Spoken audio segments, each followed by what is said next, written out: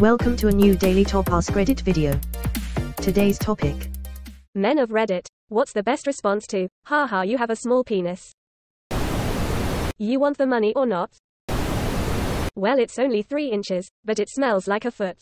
Knew a couple of guys in the service who leaned into it. President of the Small PP Club. I'm not only the president, I'm a member, hung like a stud hamster. My first wife was rather admired by several guys in my division. They asked how I managed to land her, me being a fugly looking dude. I told them, I can lick my eyebrows without asterisk taking my glasses off. A friend of mine always claimed to be hung like a bull frog. He always nailed the pause. Never failed to crack me up. That's my clitoris, mom. My biology professor said don't take steroids, unless you want a small PP. Goes for guys and girls.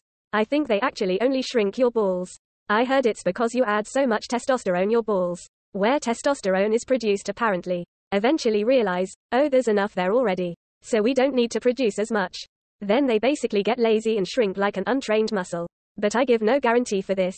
I'm not even sure if steroids have that much to do with testosterone, just pick that up somewhere. Only when I look at you. Well, I must be on your mind a lot. Edit. This guy edited the comment. The original comment read, That's what happens when I look at you. Quote. Damn lol. Rich coming from someone who doesn't even have a penis to begin with. Quote. My dad has a penis though. Then go fuck him, is what I'd say. I might have a needle dick but I fuck like a sewing machine. Can speak for some women but fucking like a sewing machine sounds like a nightmare. It will leave you in stitches. Hey, my eyes are up here. I was in the pool. It's time we raise more awareness for shrinkage. It's not much but it's honest work. IDK why this is so funny, does it even make sense? In the Grand Canyon even a Boeing 747 looks tiny. Triple H.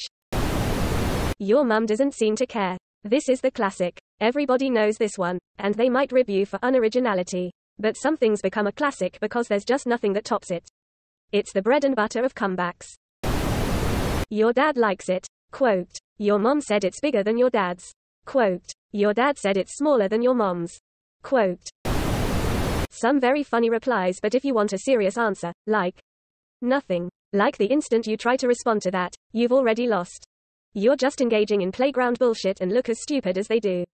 As the saying goes, don't get in fights with stupid people. They'll drag you down to their level and then beat you with experience. Don't wrestle with a pig. You'll both get covered in mud, but the pig actually likes that. Who told you? Your sister or your mom? Had to be one of them because your dad was impressed. Detach it and slap them in the face with it. I woke up this morning with a bad hangover, and my penis was missing again.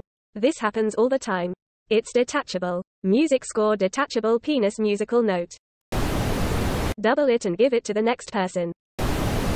Thanks. I got it half off. Up your ass you would think it's a foot. Smells like a foot. You make her gag by the size. I make her gag by the smell. We're not the same. It's difficult to impress someone who's seen a million of them. If someone is laughing at and making fun of you for something that you have no control over, put them out of your life. They are toxic and a generally horrible person. Or your mom said it's bigger than your dad's. UHM. Having a small dick is made fun of everywhere every single day in all entertainment forms, movies, TV shows, talk shows, stand up. It is normalized to body shame small dicked men and has always been. Or bald men, or short men. The list goes on. The body positivity movement only focuses on fat women, which, incidentally, is something they do have control over. There are a lot of extremely fucked up things that were completely normalized in the 20s or 30s or even 90s, you know. Doesn't make them less fucked up.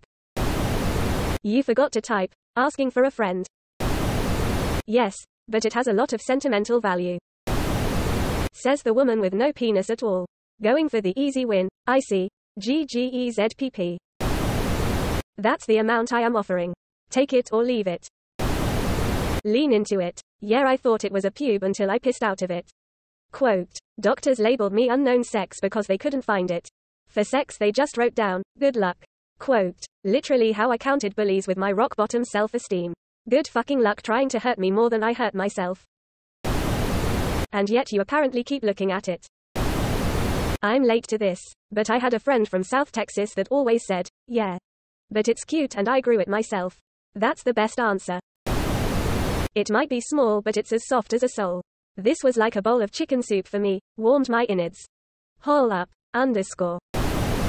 I said to her, geez, you got a big pussy. Geez, you got a big pussy. She said, why did you say that twice? I said, I didn't. Quote. This isn't even his final form. Yeah. I wore it down to a nub fucking hose like you. LMAO. Pregnant pause. So as I was saying, don't acknowledge it. Just continue on like that person doesn't matter and what they say doesn't bother you. They are throwing mud. And the second you throw it back, you are locked into a needless interaction that's only going to be negative. Ha ha ha. I assumed that you felt body shaming was not acceptable. But now that I know you support it. And then you insult them for physical flaws you know they can't control. Or even better, insult them for the ones they can.